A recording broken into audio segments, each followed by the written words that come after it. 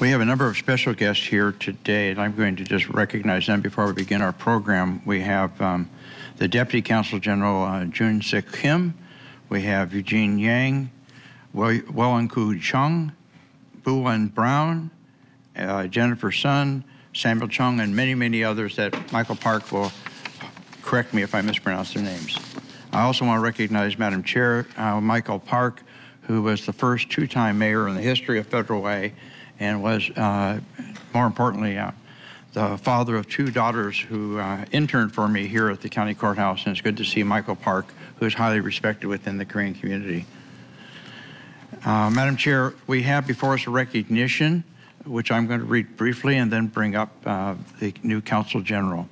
Whereas the Korean American community is a strong and vibrant community with more than 1.9 million Koreans living in the United States, more than 180,000 living in the local consulate's jurisdiction of Washington, Oregon, Idaho, Montana, and Alaska, and over 85,000 residing in King County. Whereas the Republic of Korea and the Puget Sound region have forged strong economic and cultural ties through times of peace and times of war, times which enrich our region. And whereas Washington's strategic location on the Pacific Rim makes the Republic of Korea the state's fourth largest trading partner, with commercial partnerships on items ranging from aerospace to computers and electronic devices, machinery to agricultural products. And whereas Consul General Eunji Seo, a former Director General of the Bureau of Public Diplomacy and Cultural Affairs at the Ministry of Foreign Affairs at the Republic of Korea, serves a vital role in strengthening the relationship between the Republic of Korea and the Puget Sound region. And whereas the Korean Americans have established strong roots in the Pacific Northwest and continue to uh, uh, continue to improve our region by strengthening our professional and business associations, service organizations, as well as churches. Now, therefore, we, the Metropolitan King County Council, recognize Council General Eun Ji Seo and the contributions of the Korean American community and encourage all county residents to acknowledge the accomplishments of our Korean community and support the Council General as she continues to build bridges between the Republic of Korea and the United States. I'm going to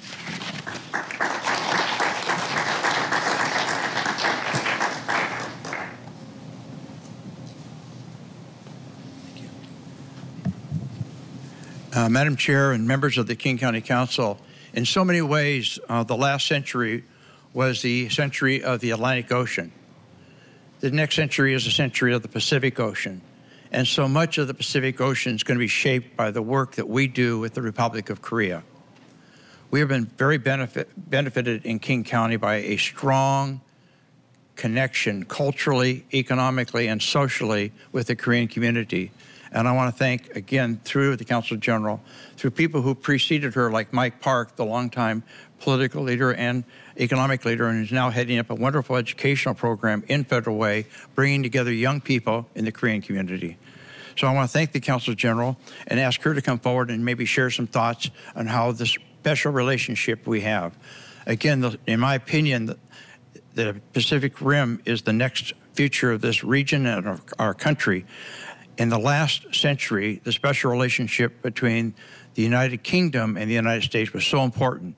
But in the next century, it's the relationship between the United States and the Republic of Korea that's going to shape the Pacific Rim. Council General.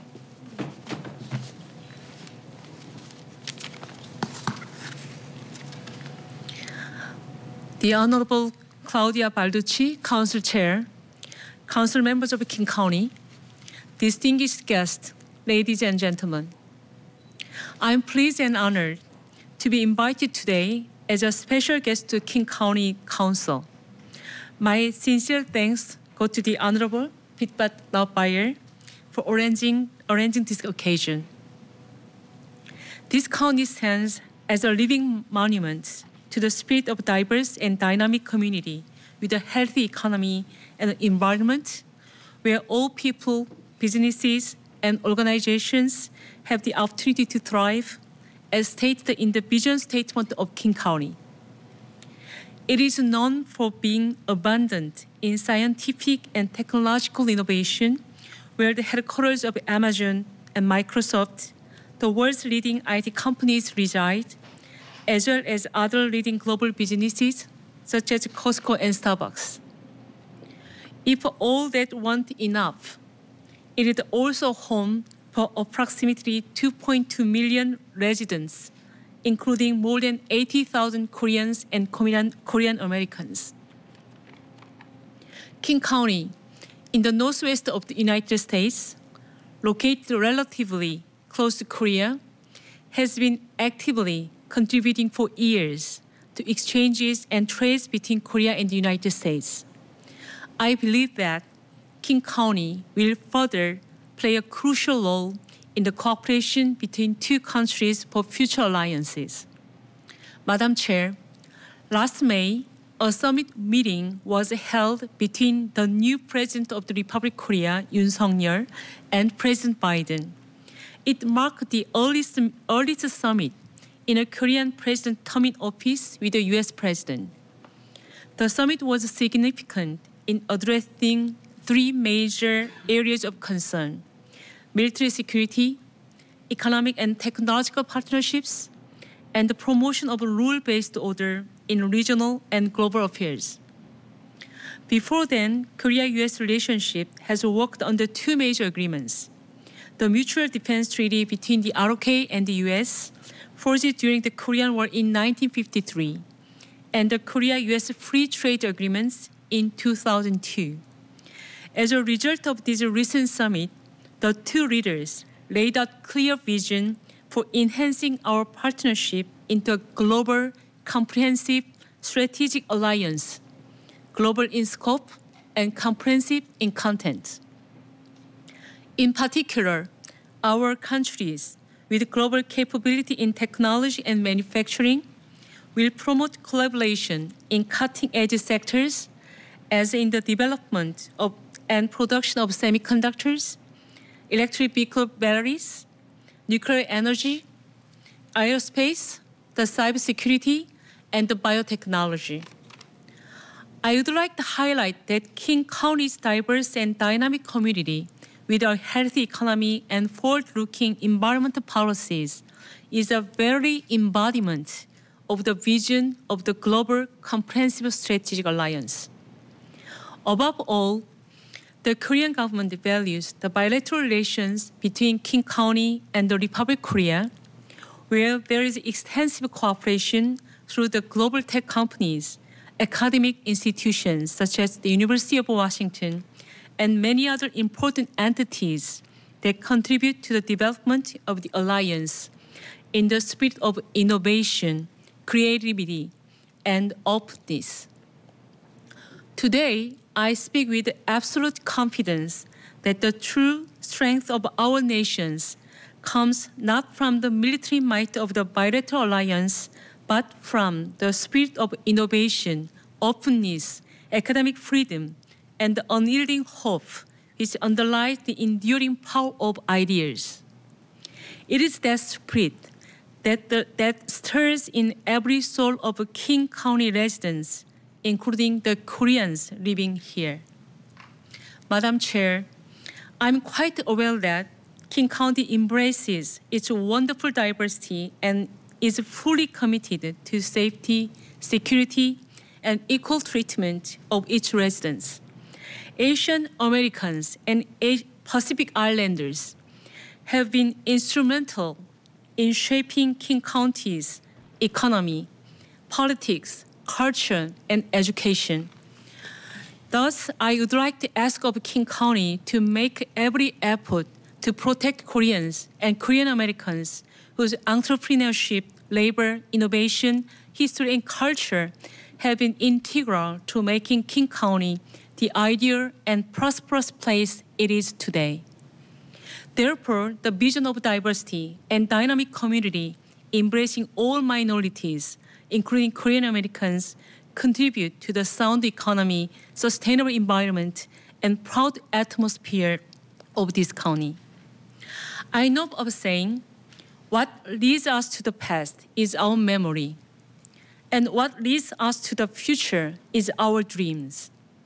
Let us always encourage our future generations to dream of a greater society, uniting all races, respecting human rights, following the rule of law and justice to promote true global citizenship. The next generation will be a stronger entity for forming such alliances between our two nations. Last but not least, this year is the 140th anniversary of diplomatic relations between South Korea and the United States. As a celebration, we are planning to hold a reception and a cultural event, a fashion show introducing Korean national dress hanbok at the Museum of Flight on Friday, October 28th. This event will also celebrate National Day of Korea. Take, I take this opportunity to invite you all to this event. Madam Chair, as a Consul General of the Republic of Korea, I will build more bridges among Korea, Korean American community, King County, Washington State, and the United States to fulfill the global comprehensive strategic alliance. I look forward to our joint efforts in pursuit of this noble goal. Finally, let me repeat the slogan symbolizing the Korea-US alliance in Korean. 같이 갑시다. We go together. Thank you very much. 감사합니다. Thank you.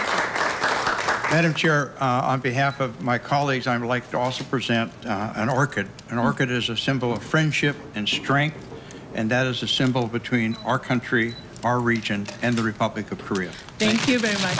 Thank you. Chair, if we can come down, if there are any questions first uh, of our special guest. She, I I might add, and I know Councilmember Balducci knows this, she is the first female uh, Council General in the history of the special relationship between the Republic of Korea and this region, so we're very honored to have her here. I'm honored too. Thank you very much. Thank you. Uh, Thank you, Councilmember Von Reichbauer and our honor Consul General and uh, guests for that lovely presentation. One thing our countries uh, have always shared, have long shared, is a commitment to democra- democracy and self-rule, and uh, I look forward to uh, advancing the interests of, of open and transparent and responsive government to the people across our, our two nations.